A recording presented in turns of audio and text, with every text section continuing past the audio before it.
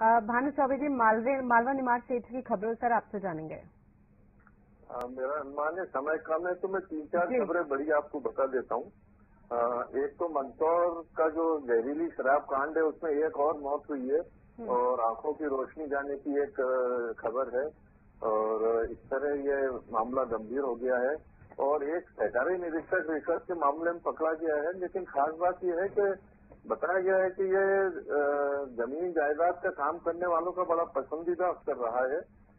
इसलिए इसके बारे में और डिटेल अब आएँगे। और पहली बार स्कूल खुले शहर में, दूसरी लहर के बाद, और एक महिला प्रोफेसर के घर से साढ़े बारह लाख रुपए चोरी हो गए। अभी कुछ पता नहीं चला है। और ये कुछ खास खबरें हैं आज जो इस, इस समय में मैं आपको बता सकता हूँ।